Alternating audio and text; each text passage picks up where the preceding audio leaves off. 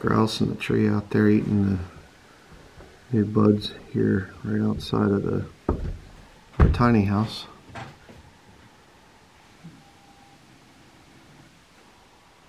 Right there. Grouse in the tree. All right, here we have one of our old stone walls. It goes back, runs back way back through the woods back in that way. And uh, we have these all over the property. It's very interesting. I know um, a lot of the European settlers would build these uh, stone walls for livestock or whatever else. They'd clear the fields of big rocks and they would uh, you know make these stone walls like this. It's really an interesting thing here in uh, New England. And I'll show you here where this one goes. You can see there's kind of a, see how the wall ends right there, and then there's like a lane that went this way at one point in time. And over here the wall starts again. Uh, but we have, this isn't one of the bigger walls on our property. The whole uh, border of our property actually to the north, facing the road, is the big stone wall. The logging practices on this property were terrible. That's why we have these huge, you know, groves of little tiny aspen trees or popple, whatever you want to call it. You can call it either one, but kind of weird. Here, let me get out here to the main road on our property, that is, not really a road or trail. But again, you can see right here's the, the stone wall. It continues that way, goes this way. It's covered over pretty good, but there's that. And then here you can definitely see the the stone wall going back through there like that. Very interesting. I have no idea how old this is, how old these walls are, but they're all over the property here. Um, at first I saw a few of them and I just kind of thought, oh, okay, you know, and and uh, didn't think much of it, just thought it was a pile of rocks. And then one of the neighbors I was talking to, he you know, was had been hunting here on this property for many years and he said, oh no, he said there's rock walls all over the property. Said they go all over the place. And they do. So I'll show you another one here. All right, here we have another stone wall. You can just see it in there. And this one goes up along this trail here. Kind of continues up along. And uh, again, very interesting. And it leads to something which is rather unique, which I will show here in a few minutes. But, uh, and you can see some of the rocks over there. They're really grown over but that's not uh, natural there. Those were stacked there like that. But we'll just continue heading up this trail here like that um, on our property. And I'll show you the interesting thing up here in a little bit. Here we have another part of the wall that I'm walking beside.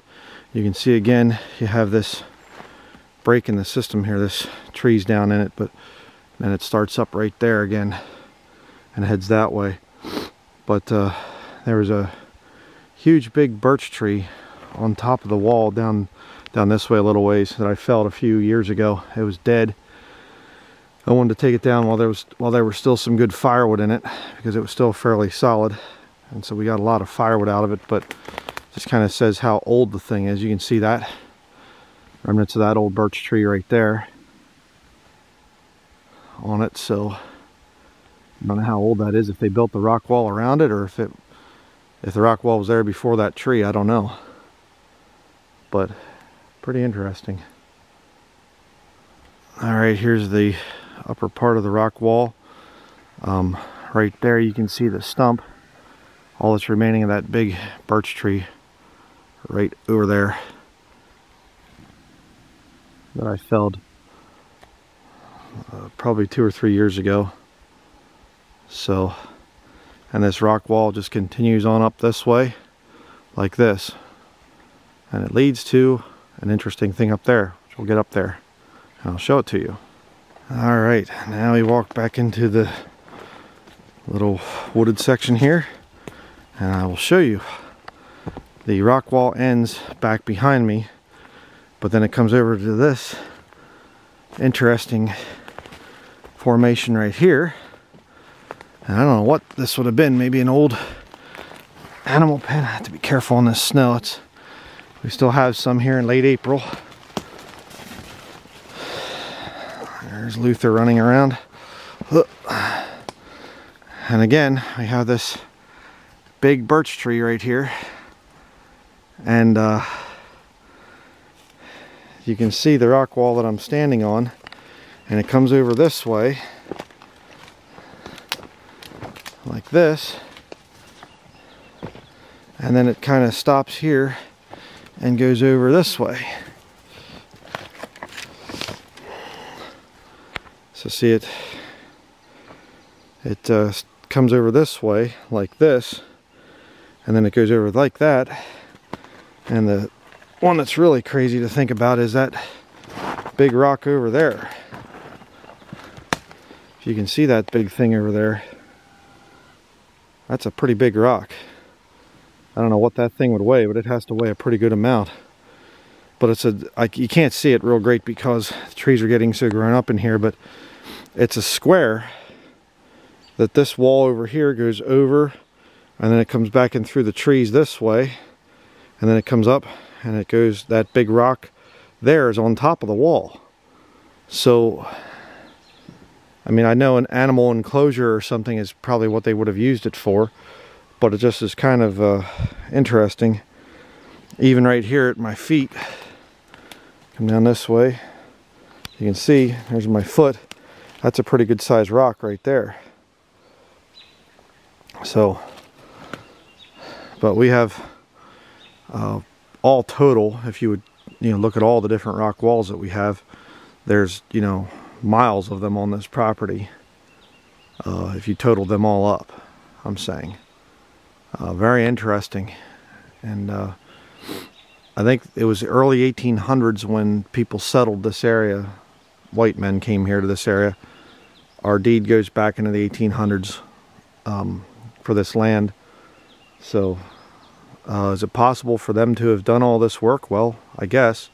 Probably it is and that could be it but I know in New England there's a lot of uh, strange rock walls and rock formations and everything else. So um, if I ever find a some kind of rock uh, structure that uh, some kind of an underground chamber with lots of gold and things like that, I'll, I'll be sure to let you know. uh, I wouldn't hold my breath though for that one, but think it would have been discovered by now, but just an interesting thing I thought I'd show here. I don't know if I've ever shown the actual things. I've, I think I've kind of mentioned them, but just very interesting, these old rock walls all over our property. All right, one other thing I want to show here. Um, there's an old house that used to stand on this uh, property here. I met the guy that grew up on this property uh, he owns a cabin down the road. But anyhow, this was the sink, the kitchen sink there. You can see it. I moved it. That's not the original spot for it, but then you come over into here and uh, there's some metal and uh, there's an old pipe down in there. You can see that old pipe sticking out. So I think that there must have been there's this hole here. There's that concrete thing right there. So I don't know if this was some kind of rainwater, like a cistern or something. I have no idea. But there's some old sheet metal, old galvanized steel. And uh, then you get over into here and uh, you can see some of what was left from the fire there. You have a, a little jar right there. There's some part of a bowl from the kitchen and this whole area is just filled with glass and pieces of metal and whatever and uh, I'd like to try to clean it up at some point in time, but there's some old metal there. Some old, uh, looks like shingles or something on that. I don't know what that would have been. But then you get over into here, and uh, here's the old water, hot water heater. I don't know if it's copper or what. You can just kind of see it laying there.